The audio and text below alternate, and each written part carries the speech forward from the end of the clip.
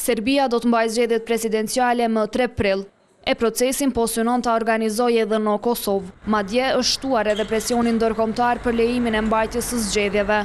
I dërguari i posaçëm i Bashkimit Evropian për dialogun Kosovë-Serbi Miroslav Lajçak ka kërkuar të gjenden modalitete për mbajtjen e zgjedhjeve presidenciale të Serbisë edhe në Kosovë. Sipas tij, kjo i hap dyer takimeve në nivel më të lartë negociatorësh në procesin e dialogut. Kosova ka disa alternativa që u mundëson qytetarëve të saj serbë me dyshtetësi të votojnë në këto zgjedhje.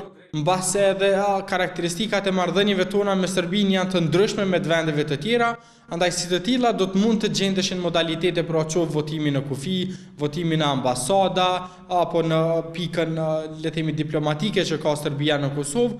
Megjithatë, kjo mund të bëhet vetëm nëse ka kërkesë nga ana e Serbisë, drejtuar institucioneve të Kosovës. Qeveria deri më tani nuk ka marrë ndonjë vendim për lejimin ose jo të zgjedhjeve serbe edhe në territorin e saj.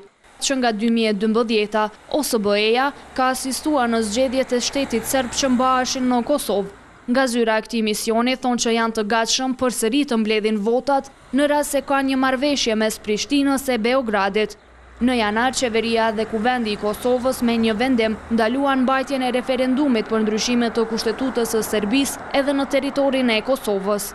Nga institucionet serbëve të Kosovës iu rekomandua të votojnë me postë ose edhe në zyrën ndërlidhëse me Serbinë. Për Top Channel, Leonita Bajrami, Prishtinë.